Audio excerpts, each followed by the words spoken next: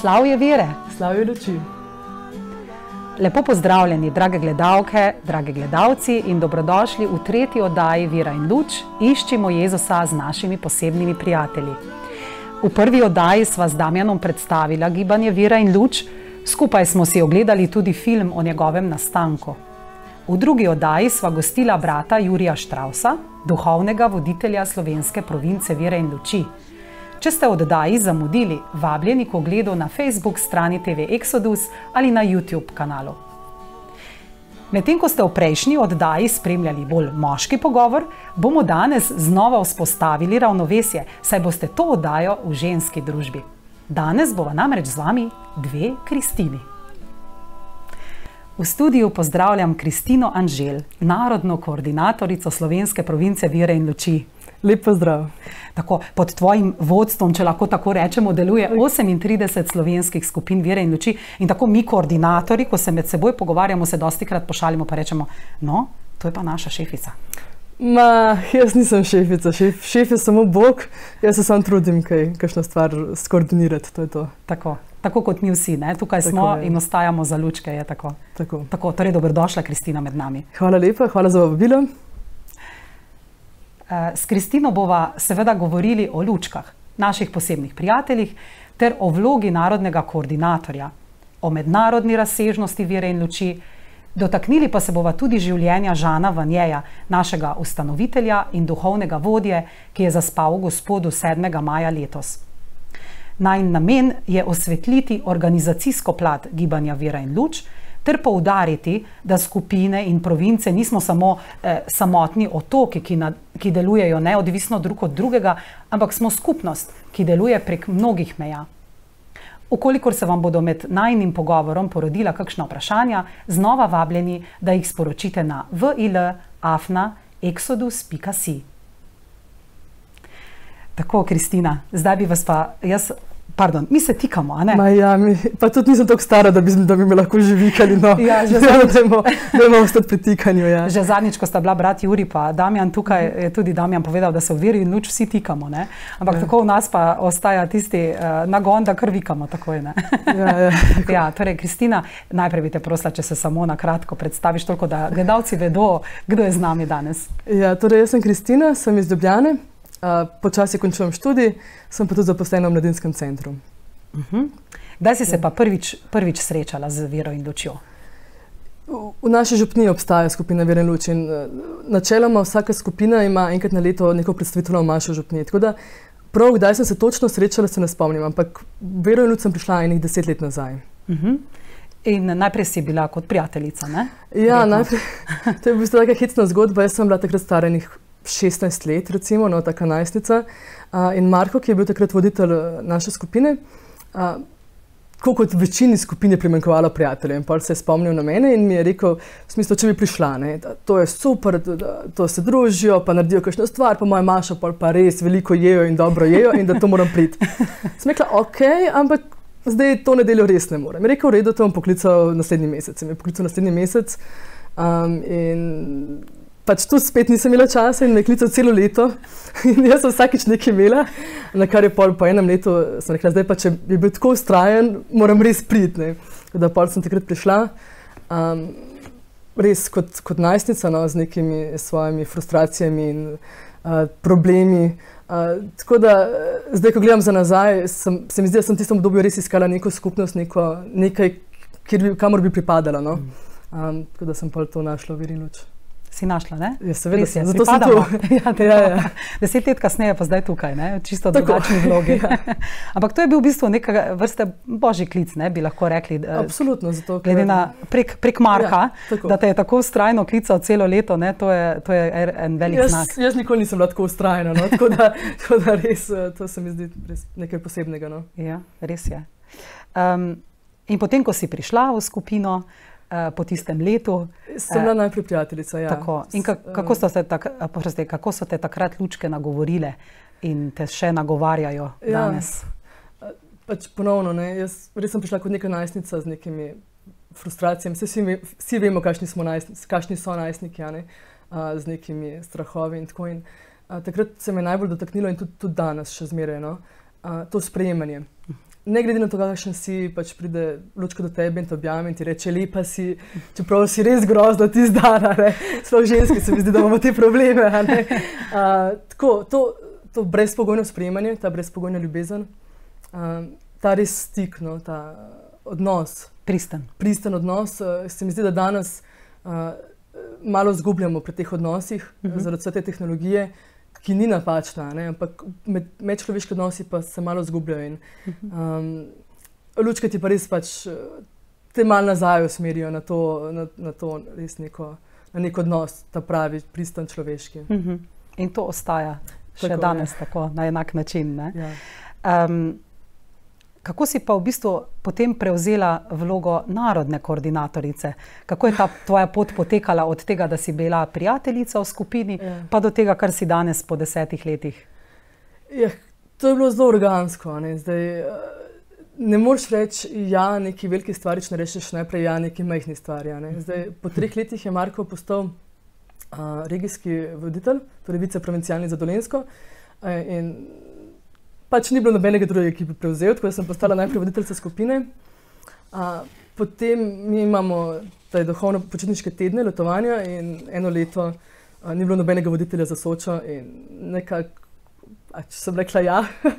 in pol prek teh nekih majhnih jajev, ki sem jih govorila čez leta, uh, je potem štiri leta nazaj, ko smo imeli volitve, um, sem bila predlagana in ko sem imela klic, v smislu, če sprejmem to, če, če grem na volitve sploh, je bilo nekako logično, da rečem ja. No. Tako, vse skupaj je peljalo to smer. No. Mhm. Se, mi, se mi zdi, da je bil res en tak tudi božji načrt, da, da rečem ja. No. Mhm. Da, kdo pa ugovarjal Bogu, ne, njemu ne moremo ugovarjati. Ne, tako da, tako da, ja. Eh, koliko si bila takrat stara, ko si prevzela Joj. našo barko? Uh, brat Juri bi rekel, da je absolutno premalo.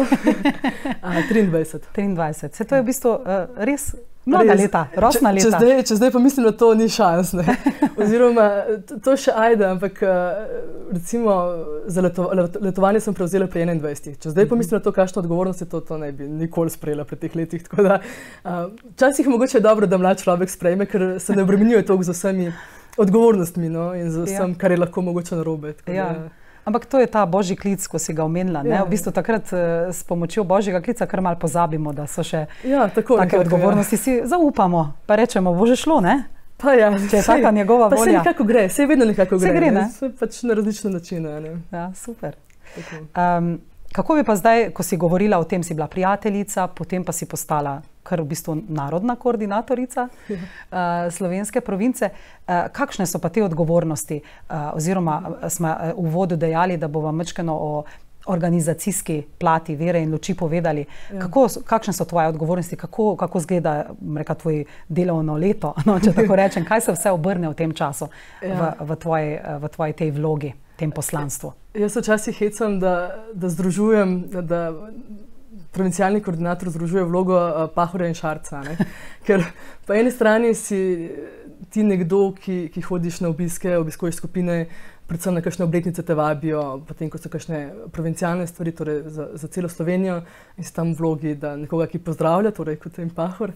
A hkrati pa v bistvu v zadju tudi določaš skupaj s svetom province, določaš um, kam bo na nek način šla vera in luč, oziroma um, katere eh, stvari bomo imeli, kaj se bo dogajalo. No? Um, pa iščeš ljudi, ki bojo potem tudi uh, pripravili in organizirali določene stvari. Eh, Zdaj celo leto poteka nekako tako, no, da mislim. Celotna struktura vere in luči je sestavljena, zakaj imamo sploh vse te razne funkcije, uh, je, zato, je zaradi spremljanja. V smislu, v veri luči se res, se mi zdi, trudimo, da se noben ne bi počutil samega, da vedno veš, da je nekdo, ki skrbi za ta. Ne? In zdaj težko en človek spremlja ogromno ljudi. Zato je potem ta struktura, v smislu voditelj skupine spremlja svojo skupino, potem imamo regije in viceprovincialni oziroma regijski spremljajo voditelje svoje regije. Uh, provincialni voditelj pa potem spremlja te svoje viceprovincialne, te svoje regijske voditelje. V našem konkretnem primeru v Sloveniji imamo šest viceprovincialnih, šest regij, torej uh, severno in južno primorsko, gorensko, dolensko in zahodno in vzhodno štajersko. Um, potem gre pa strukturno naprej, seveda na mednarodni nivo, kjer so pa potem vice internacionalni koordinatorji, ki spremljajo za par provinc. Konkretno mene spremlja Anžela, ki spremlja tri italijanske province, Slovenijo, Hrvaško in Švico. Uh, potem je pa v bistvu še internacionalni voditelj z namestnico, ki pa si razdelita teh 12 um, uh, vice internacionalnih, jo, te naši izrazi ja, so kar malce zakomplicirani. So, ja. Uh, ampak ja, v bistvu gre, v bistvu gre pa za spremljanje. No? In uh Mhm. -huh. tako kot ti vedno nekoga spremljaš, tudi tebe nekdo vedno spremlja. Ne? Uh Mhm, -huh. uh, tako da so te strukture, čeprav izgledajo malce zakomplicirane, so res dejansko samo temu namenjene, da se človek ne bi počutil samega, da res vedno veš, Mhm. da je nekdo zate in da nekdo skrbi zate. Ne? In ti iz mednarodne vire luči, seveda, prejemaš določene napotke, smernice, eh, ki jih potem Ja. posreduješ naprej nam, v končni fazi. Jaz jih posredujem naprej. Ja, zdaj, imamo, se mi zdi, province kljub samo precej avtonomije. Lahko uh Mhm. -huh. veliko stvari naredimo, kar želimo sami. a Ne? Konkretno, um, ne poznam primera, da bi imeli festival, to, Mhm. kar imamo mi, recimo, Mhm, kar smo mhm. imeli zdaj dve leti nazaj, in kar bomo imeli. Mislim, da naslednje leto spet. Uh -huh. Uh, torej, festival, ko se zberemo skupine, nekaj zapojemo, zaplešemo, uh -huh, se predstavimo kot nek veren lučni ima talent. Mogoče. Um, Imajo pa kakšne druge province, kakšne druge stvari, uh -huh, kakšne druge uh. -huh. srečanja. Um, tako da ja, si, si lahko, predvsem, mislim, si lahko veliko tudi sami izberemo, kaj bomo naredili in kako uh Mhm. -huh. bomo naredili.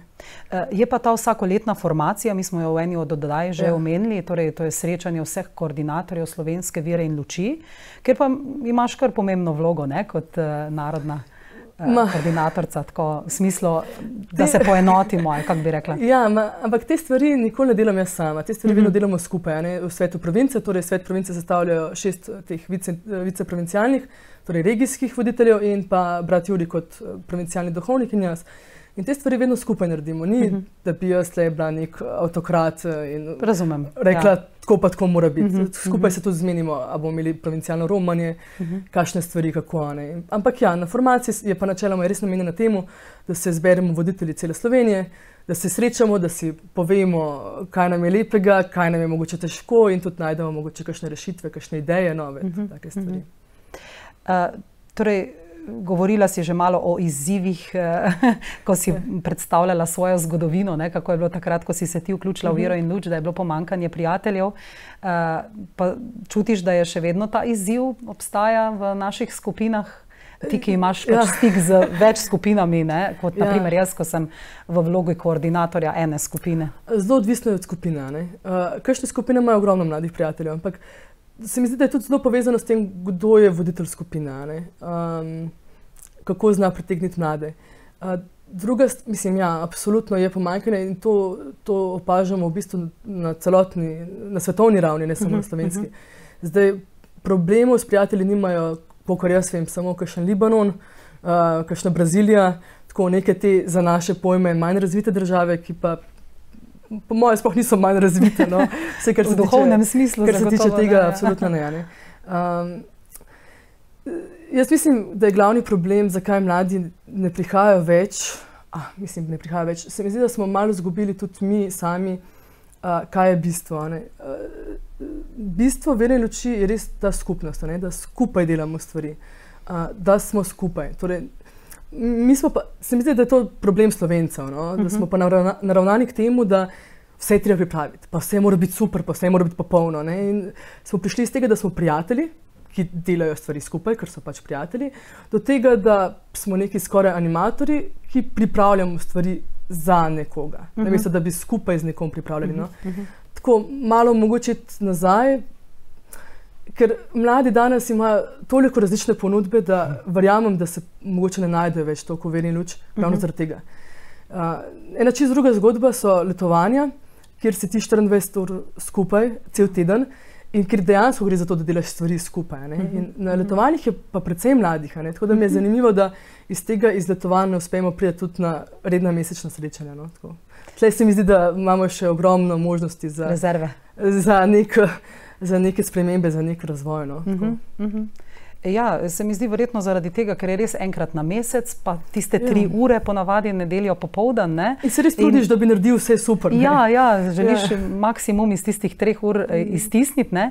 pa včasih potem mogoče pozabimo na to sobivanje, v bistvu druženje, tako kot si rekla, ne? začutiti lučko ali pa prijatelja, mm. pa enostavno biti skupaj, mm. e, tudi če ne gre vse uh, tipi topi po načrtu. um, Glede na to, da je pa tvoja vloga v veri in luči prvenstveno najprej povezana z nami, koordinatorji, z tem eh, uh -huh. spremljanjem in eh, prenosom informacij, eh, kako pogosto se pa potem srečuješ z lučkami, ob kakšnih priložnostih? Ja, um, jaz še zmeraj se trudim hoditi redno na našo skupino, uh -huh. zdaj koliko mi to uspeva zaradi, zaradi križanja z ostalimi stvarmi. Uh, tako da, če ne drugega, imamo v lastni skupini stika ne, z lučkami. Uh, Potem pa tudi na vseh teh srečanjih, ko so neke obletnice, zdaj recimo Maja je imela nova crkva 30 let, uh -huh. a, na takih stvarih se srečam z očkami, potem na letovanjih, na duhovnih vajah, se mi zdi, da kar ohranjam še stik. No. Uh -huh, uh -huh. A, tudi meni je zelo lepo, ker v svetu province a, je ena viceprovincialna voditeljica a, mama, ki ima lučko uh -huh. in jo pač vedno pripelje sabo. Tudi ena druga a, viceprovincialna pripelje enega svojega prijatelja Lučko sabo. In se mi zdi to zelo pomembno, ne, da tudi uh mhm. -huh. mi, kot nek uradni organ, nismo nekaj, zdaj, nekaj posebnega, ampak uh -huh. da ločeni, ampak, ločeni, ampak da smo tako, ja, da, da smo skupaj in da, in da smo. Se mi zdi, da kar imam no, stik, oziroma se trudim ohraniti stik, ker drugače vse skupaj nima smisla. No. Strinjam, ja. Če nimaš stika z lučkami, če nimaš stika z starši. Pač ne gre. Ne? Mm, težko to, čutiš smo... tisto pravo poslanstvo tako, narodnega ja. koordinatorja. Um, si pa kot narodna koordinatorica povabljena, da se udeležuješ tudi srečanj, ki pa jih organizira Mednarodna vera in luč. Uh -huh. uh, bi nam lahko malo povedala o tem, kako pogosta so ta srečanja, uh mhm. -huh. kakšni dogodki so to, um, katerih si se do zdaj udeležila? Mogoče? Ja, torej, um, ker pač strukturno imamo mi, mislim, je v veri luč narejeno tako. da je voditelj skupine tri leta in potem so volitve. Uh, potem naslednji nivo, torej ta provincialni nivo, viceprovincialni in provincialni je štiri leta, uh, mednarodni nivo je pa pet let. Torej, vsakih pet let uh, je mednarodno srečanje, kjer, je, kjer so volitve za mednarodne voditelje, za predsednika društva, za mednarodnega koordinatorja, bla bla. Um, ker pa je pa pač pet let dolga doba, je vmes še eno srečanje, ponovadi na dve, tri leta. No. Zdaj, uh, jaz sem imela to srečo, da sem bila oktobra izvoljena in pol julija naslednje leto smo imeli že eno to um, umestno srečanje uh, na Polskem. Uh, lani smo imeli pa potem to torej, volitveno, uh, volitveno srečanje ja, uh, v Libanonu. Tako da to sta bile dve taki mednarodni srečanji, ki sta bili za provincialne voditelje. Vmes, uh, torej dve leti nazaj, je bilo pa srečanje, v bistvu prvo srečanje, mednarodno srečanje za mlade prijatelje. Hmm. Uh, v Španiji, torej za mlade od 18 do 28 let. Uh, res namenjeno neki formaciji, spodbujanju mladih, da bi prevzeli kakšne bolj odgovorne vloge. No. Uh, takrat sem šla jaz in še dve prijateljice, ena lučka, no. smo šle štiri punce iz Slovenije. Tako da na teh nekih večjih mednarodnih dogodkih sem bila na treh. Krasno. Kaj bi potegnili? Vsako, vsako poletje, praktično. Krasno. Mislim, da za tako kratko dobo si imela res srečo, ne, da si Ja, res, res. že, da uspela doživeti tri take dogodke. Ja. Um, torej, verjetno se med seboj kar razlikujejo ta volitveni, eh, volitveno srečanje, ja. ali pa Ja. naprimer tisto umestno. Ne? Ja, ja. zdaj uh, volitveno je bilo res po svoje zelo naporno. Uh -huh. uh, najprej, je bilo, najprej smo se zbrali, potem je bilo dva dni kot neke priprave na volitve, ko so se predstavljali kandidati, ko smo imeli možnost se pogovarjati z njimi. Potem je en cel dan trajalo samo glasovanje, um, ki je bilo res dolgo, ker pač so neki postopki, v smislu ne, vem, 75%, pa če ni, se ponovi. Pa, skratka, to je bilo res naporno. No. Teda, pol, ko je bilo konec, smo bili vsi, se mi zdi, malo veseli, ker smo uh, Oddahnili imeli spet se. čas uh, se družiti normalno, mislim, normalno družiti, Ja, ja, pač in se pogovarjati. Medtem ko tisto umestno srečanje na polskem je bilo pa bolj tako, uh, mogoče bolj duhovno. No? Uh -huh. uh, več je bilo tega nekega in osebnega dela in dela v skupinah, pogovarjanja. No? Uh -huh. uh, Medtem ko to za mlade je bilo pa čisto nekaj pač drugačnega, no? ker je bilo tudi za drugačen profil. No? narejeno. Mhm. In lučke so vedno tudi na teh Ja, ja, ja, mednarodnih absolutno. srečanjih prisotne. Ja, ja, to pač, se ni verjelo luči brez lučk. No? Seveda, ja. Tako Da, ja, ja, so vedno prisotne. Ste tudi vi povabljeni, da kakšno s sabo pripeljete? Ja, ja, da, na, prav konkretno na teh za mlade je bilo, je bilo mišljeno, da se vse ena lučka iz province udeleži. Uh -huh, uh -huh. torej, bilo je za vsako provinco so bila v bistvu eh, štiri mesta, tri za prijatelje in ena za lučko. Uh -huh, um, tudi, tudi na mednarodnih, na teh v smislu za provincialne je zelo dobrodošlo, če pride tudi kakšna lučka zraven. Uh -huh, uh -huh. Je pa treba vedeti, ne, zdaj, če nekdo prihaja iz neke Brazilije v Libanon, že zaradi poti, a ne, je to. Um, tako da potem običajno so lokalne lučke. ne Lokalne na Polskem lučke, so bile ja. polske, v Libanonu Mhm, so bile iz mhm. Libanona tako, no, tako da se potem s tistimi družimo. In, in koliko približno pride ljudi Ja, na eno ja. tako srečanje? To govorimo okoli 300 ljudeh. No. Okrog 300. Ja. Mhm, mhm. Ker prihajamo v bistvu iz celega sveta, ne? to je tisto srečanje, ko se vsi dobimo, Ja, ko se vsi srečamo. tako da, ja. tako. In traja Traja ponavadi. ponavadi en teden. Aha, cel teden. Ja, ja. Ba, vse se ne splača za manj. No? Ja, sej, dal, dolga pot. Ne? Dolga pot, pa tudi, da res imamo čas se, se dobiti, videti, uh, srečati, izmenjati neke izkušnje. Ne? Mhm. Tako da- Eh, Danes si sabo prinesla tudi eno škatlico. Ja, zdaj, na teh mednarodnih eh, dogodkih je uh, nekako običaj, da si potem dajemo neke darilce, neke male simbole, uh -huh. da predstavljamo um, svoje države, svoje province. Da, uh -huh. ja, to recimo je bila uradna sveča um, tele srečanja v Libanonu. Uh -huh. Potem pa se ja, si delimo. Da, meni je res to zanimivo, ne, ker, se, ker se vidi, kako ostale province. Ta, recimo, to je uradni simbol vere luči, uh -huh. ampak francoska, ena francoska provinca je dala zraven eh, Lurško Marijo, pa ostrige, pa vino. ne. Tako zelo tipično francosko se mi zdi to tako luškano. Um, ali pa recimo ena provinca se imenuje Srce Evrope in ima potem srce notri. Tako, um, So ga malo dopolnili. Ja, ja, Tega, ki ga vidimo na naši sveči v studiu. Ne, Tako je. še Se mi zdi to res simpatično. No? To, je, to je naredil en, en voditelj, en provincialni voditelj, ki je slep drugačen, ta križ. Tako, lušno je, ker se, ker se srečaš, ker naj, mislim, dobiš neke spominke, ne? da se res pol spomniš vseh svojih prijateljev iz celega konca sveta, ne tale recimo iz Filipinov. Tako, eh, tudi zaradi tega se mi zdijo te mednarodne srečanja eh, tako zelo fajn, ker se srečaš z ljudmi iz celega sveta in vidiš, da imajo enake probleme in enake hkrati pa tudi enako veselje in enake eh, čudovite trenutke kjerkoli na svetu. Mm -hmm. Tako vem, na Filipinih, kot v Braziliji, kot v Južni Afriki, pač vse posod se soočamo z istimi stvarmi in nas iste stvari nagovarjajo, preverjeno. Mm -hmm. tako, tako se mi zdi to res dragoceno, no? ja. da smo res povezani.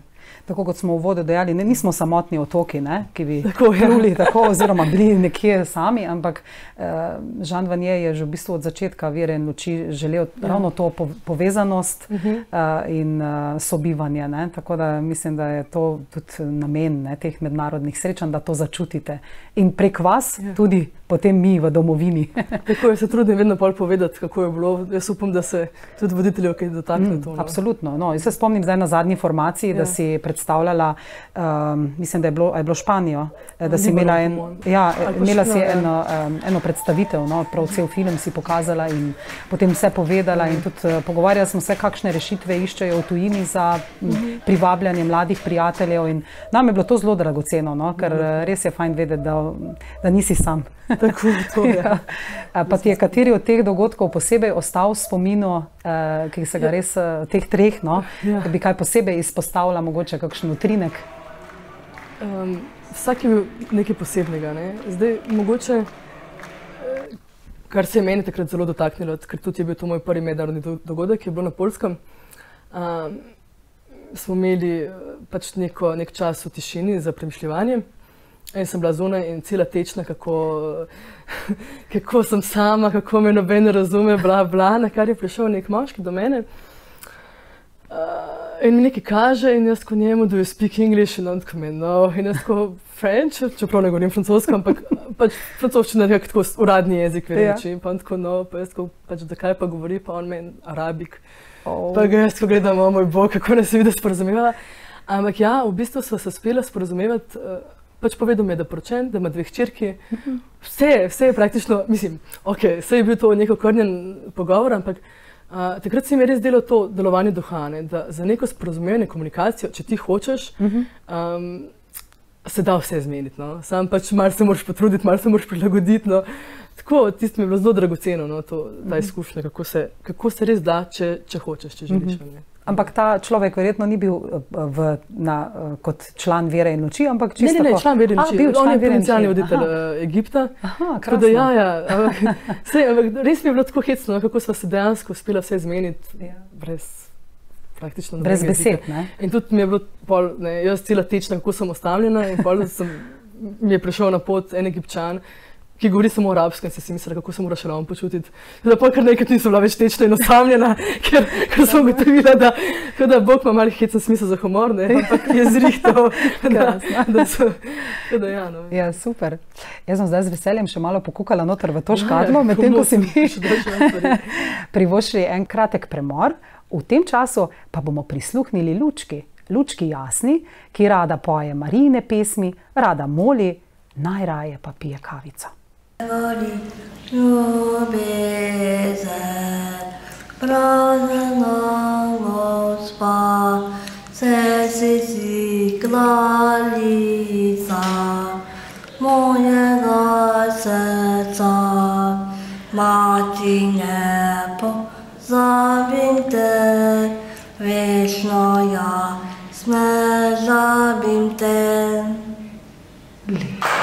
Znaš še katero drugo Marijino pesem? Ja, jasno. Katero znaš? Pacile, paci, roža Marija, tebe šaj, pisane, miška družina. Angacili,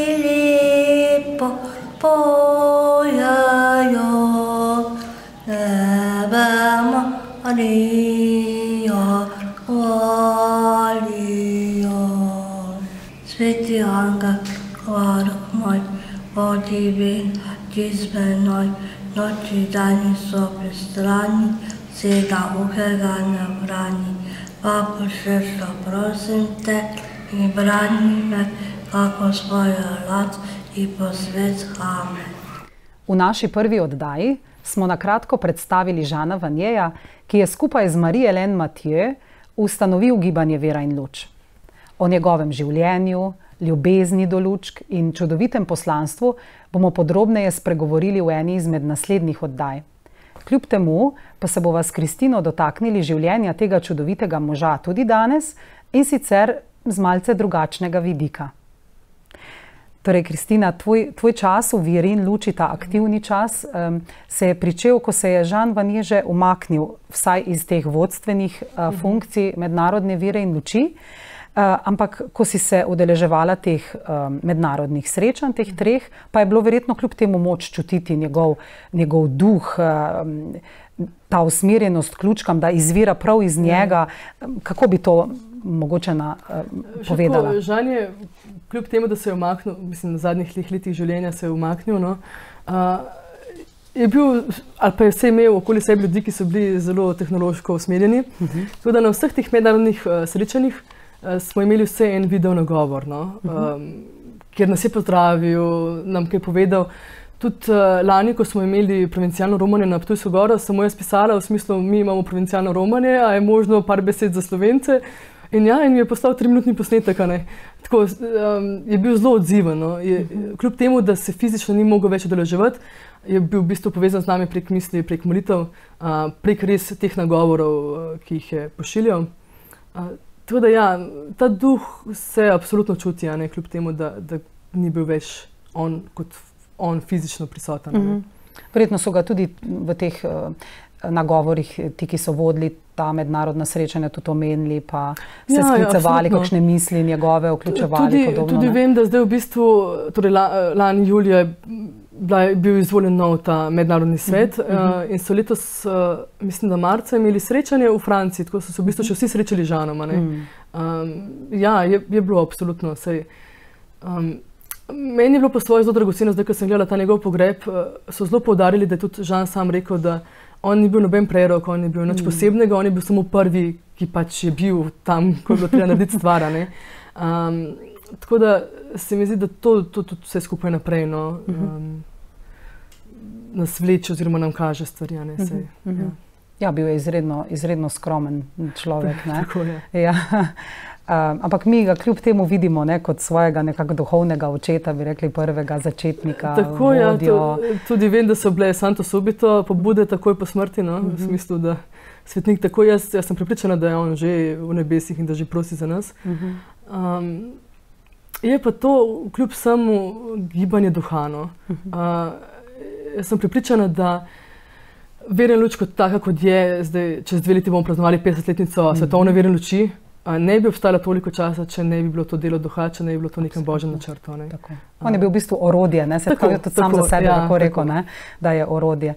No in, uh, ko je Maja letos zaspal gospodo, je to uh, mednarodni svet pripravil na tako čudovito uh, PowerPoint predstavitev njegovega življenja. Uh, za nas, koordinatorje, v bistvu so pripravili tudi, kaj bi pri vsakem od teh prosojnic naj povedali o njem.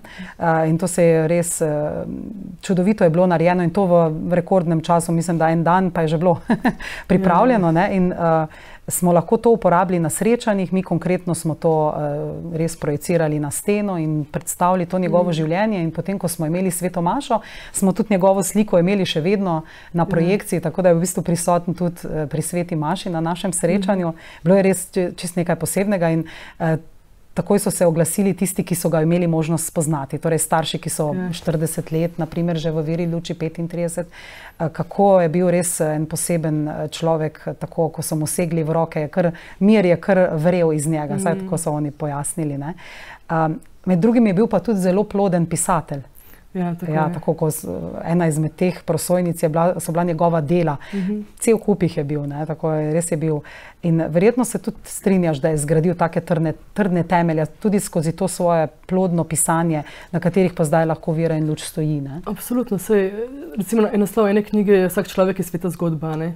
Um, se mi zdi, da če bereš njegove stvari, če živiš ta duh vere luči, potem ja, gledaš vsakega človeka kot, kot neko sveto zgodbo, kot nekega božjega otroka. Ne? Da, se to uh, absolutno še naprej um, prenaša in bo to ostalo tudi za naprej, še no, te, ta njegova zapuščina.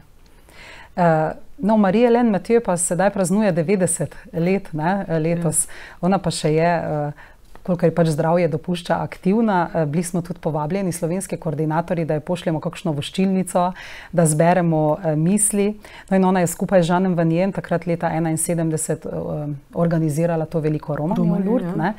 Uh, in iz tega je zdaj nastalo v bistvu 1450 skupin v 86 ja. državah. Ne? Kako bi rekel, kako je to mogoče? ja, spet, to, to je mogoče samo zato, ker je očitno to bil nek božji načrt, ker, mm ker je to racionalno, realno si, si ne moreš osmisliti. No? To je po, po, po mojem res samo delo svetega duha. No? Um, in očitno je res bila potreba no? potem, po, po, te, po take vrste skupnosti. Um, moramo tudi razumeti, da 50 let nazaj, ali pa 40, kot bo v Sloveniji, zdaj malo obletnica, je bil drugačen svet. Je, je bilo manj sprejemanja in uh -huh. manj vseeno smo teh, v tem času naredili precej nekih premikov. Ne? Uh mhm. -huh. Je več vključevanja, je več inkluzije. Ne vem, v Ljubljani recimo imamo to drugo violino gostilno, kjer, uh -huh. a, lučke, kjer so lučke natakari. Uh -huh. Tako uh -huh. je več tega po svoje, mislim, na nek način normalizacija, ne? da je normalno, da ga mhm. srečaš na ulici. 50 let nazaj pa, pa ne, ne, so bili zaprti in je bilo res potrebno in pomembno, da se je to naredilo. Mislim, uh -huh. Za neko tako skupnost. No. Tako. Eh, našo naslednjo oddajo bomo namenili duhovno-počitniškim tednom ali letovanjem, kot ja. jim tudi pravimo. Nekaj besed si že eh, danes o tem spregovorila, eh, pa mogoče, če nam lahko sam na hitro poveš, sploh, zakaj so sploh letovanja, ne? Mhm. kdaj so, tako časovno, terminsko, in pa mogoče kakšen tvoj um, spomin, utrinek, ki se te je ja. dotaknil iz tega uh, življenja. Utrinkov je res ogromno. Um, Letovanje so vedno poleti. Torej, uh, načeloma luškarske srečanje potekajo celo šolsko leto, od septembra do junija. Običajno ima večina skupin na koncu piknik, pa so imajo super. Uh, potem pa dva meseca ni nič. Zdaj, da bi kar dva meseca bili doma, ne da bi se srečali, je kar mal dolga doba. Tako da takrat so letovanja, v Sloveniji imamo štiri. Tudi to smo en fenomen. No. Uh, razen Libanona, ampak tam je, tam je specifična situacija, ker imajo res ogromno mladih prijateljev. Tam vsaka skupina naredi svoje letovanje. Druge pa po drugih provincah sploh letovanj nimajo, ali imajo pa, ne vem, Hrvaška vem, da ima en teden, ali imajo pa, ne vem, samo za podaljšan vikend. Ne? Tako da to smo res, se mi zdi, vsi, ko slišijo tako, na mednarodnem nivoju, da imamo štiri letovanje, so kratko, oh, kako je to možno. tako smo tak mal fenomen v mednarodnem mhm, nivoju. Tudi mhm. glede na število prebivalcev, število skupin, to je po svoje res nekaj. Mislim, Treba je razumeti, recimo, neka Avstrija ima štiri skupine, ne? uh, Nemčija ima mislim, da pet. Tako, no, kar se tiče 38, ne? Mi pa 38, kar se tiče tega, smo res eh, zelo, zelo plodni. No. A, tako da imamo štiri letovanja a, na Soči, v Portorožu, na Pohorju in Kančacih, trajajo en teden, uh mhm. -huh. je pa v poletnem času. No. Um, je pa to ena res eh, čudovita izkušnja. Jaz bi predlagala vsakemu mlademu človeku, da bi, pa tudi starejšemu, no, da ne bom zdaj delala ja. neke diskriminacije do starejših. Um, Zato, ker živiš res skupnost, res, um, res si skupaj z ljudmi um, in živiš skupnost, ampak tisto preprosto skupnost. Ko, ko si srečen, ker dobiš doma spečen kruh, ko si srečen, ker te nekdo objame. Tako, um, začneš se zavedati teh drobnih stvari, ki so pomembne. Um, pa res skupaj si. No. To, se mi zdi, da dan danes, kljub vsej tehnologiji, kljub vsemu, kar imamo enostavnemu življenju na nek način, uh mhm. -huh. nam pa manjka te neke preprostosti, bližine uh mhm. -huh. in tle to je. Ne. In tudi jaz eh, nikjer nisem doživela tega, kot sem ravno na verni luči, da smo bili prijatelji na letovanju, ki smo bili stari 20 let in ki so bili stari 60 let in zvečer, ko smo imeli refleksijo smo pol eh, še igrali, človek ne jezi se do dveh po noči skupaj in ni bilo te neke generacijskega prepada, oh, uh -huh, sploh, uh -huh. kot se včasih govorijo. Uh mhm. -huh. Smo bili res eno, no? ni, ni bilo tega. Da, to je ena taka izkušnja močna, ki jo jaz res vsem priporočam. No? In tu si se navezala tudi na moje zadnje vprašanje. E, mi nekako v vsaki oddaji povabimo gledalce, torej starše, uh mhm. -huh. lučke in prijatelje, e, da se vključijo v naše čudovito gibanje Vera in Luč. In kako bi jih ti povabila danes, uh, kaj po tvojem mnenju vera in luč lahko da človeku? Ja, jaz mislim, da se skozi ponavljam. No? Ampak uh, vera in luč da človeku res ravno to. Uh, to, kar je bistvo, um, torej bližino, um, neke te res pristne, prave odnose, uh, brez pretvarjanja. Se mi zdi, da včasih, oziroma da vsi ljudje imamo neke maske, ne? neko masko za službo, neko masko za šolo, neko masko za tiste znance, ne? vsi se trudimo biti, biti popolni. Tle pa se ne moreš truditi, ker, ker te vidijo, ker te preberajo, ker točno vejo. Ne moreš si neki dati in neki se pretvarjati, ker, ker Ne pač gre. ne gre. No. Mi dva rečeva, da skenirajo. Ja, recimo. Ja. Uh, in te preberajo, in eh, to, no, da, da vidiš, da, da si ti sam božji otrok, da se malo bolj tega zaveš, in da se tudi zaveš, da, so, da je vsak od, os- od ostalih ljudi, ki te obkrožajo, um, božji otrok, oziroma nekdo, ki je sveta zgodba. Prav, ja, ravno to je. Um, tudi če ti gre mogoče na živce ali pa ga ne maraš, ga lahko še zmeraj spoštuješ kot človeka, kot božjega otroka. ne. Um, meni recimo je to dala vera in luč, a ne, da tudi če pač nekoga ne maram, ga še zmeraj prepoznavam kot božjega otroka in mu dajem zaradi tega neko veljavo. Ne. Um, tako da mislim, da res to, no, ti neki pristni odnosi, um, ta bližina, to daje vera in luč v tem današnjem sodobnem svetu. Ne. In zato mislim, da bi vsak mlad moral uh, priti vse na eno letovanje, no, tako, Tako. da bi malo obnovil te stvari. Ja, da ima izkušnjo, potem pa, potem pa ga naprej vodi sveti duh, ne? tako kot je tebe Ja, sej- vodil. ne. sej je, jaz poznam veliko mladih, pa tudi starejših, no, ki zaradi takih in drugačnih uh, okoliščin v svojem življenju ne morejo več hoditi na skupino. Ampak Mhm, mhm. tudi če si bil samo vem, eno letovanje, se te to dotakne in spremeni tvoj pogled na življenje, spremeni tvoj pogled na, na so ljudi, na, na so človeka. In že zaradi tega je vredno, no, da, da si, no, da si zraven, da, Ja. da to vidiš in da te spremeni. Ne bi se mogla bolj strinjati. No, čudovito. Tako da, Kristina, res iskrena hvala, da si prišla Zakaj? danes k nam v studio in da si z nami delila to svojo čudovito izkušnjo vere. Ja, hvala, za, hvala za povabilo. ne. Vse dobro še naprej pri vseh ostalih ostaja, o, oddajah. Hvala lepa. Tako. Vam, drage gledalke, dragi gledalci, prijatelji vere in luči, pa se zahvaljujem za družbo in vas vabim, da ste z nami znova v naslednji oddaji. Ne pozabite, veseli bomo vaših vprašanj, vtisov, mnen na vilafna.exodus.si. Oddajo zaključujemo z molitvijo vere in luči, povabljeni, da jo zmolite skupaj z nama. Slavje vere, Slavijo luči. Jezus, prišel si na zemljo, da bi nam razodel očeta, našega očeta, in nas naučil ljubiti drug drugega.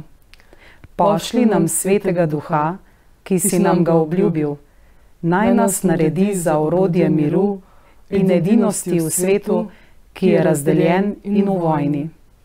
Jezus, poklical si nas, naj gremo za teboj v skupnosti vera in luč. Hočemo ti odgovoriti da in živeti v zavesti ljubezni, v tej veliki družini, v katero si nas poklical, da bi skupaj nosili naše trpljenje in težave, naše veselje in upanje. Nauči nas sprejemati naše rane in slabosti, da bi se v njih razodela tvoja moč. Nauči nas odkrivati svoj obraz in svojo navzočnost v vseh naših bratih in sestrah, zlasti v najbolj nemočnih. Nauči nas hoditi za teboj po poti evangelija. Jezus, pridi in živi v nas in naših skupnostih, kot si najprej živel v Mariji. Prva te je sprejela v svoje življenje. Pomagaj nam, da bomo skupaj z njo zvesto stali ob vznožju križa, blizu vsem, ki so v našem svetu pribiti na križ. Pomagaj nam, da bomo živeli v tvojem stajenju. Amen. Angelček